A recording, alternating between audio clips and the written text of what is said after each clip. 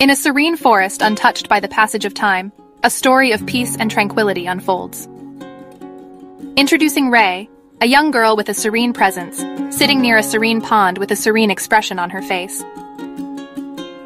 This place is my sanctuary.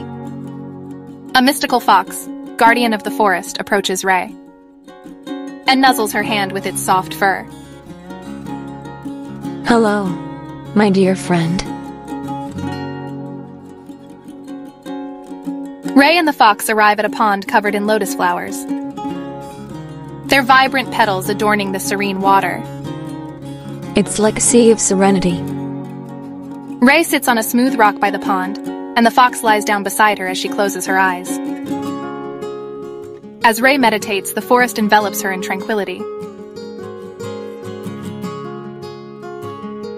In the serene heart of the forest, Ray and the guardian fox share an eternal bond, where serenity knows no end.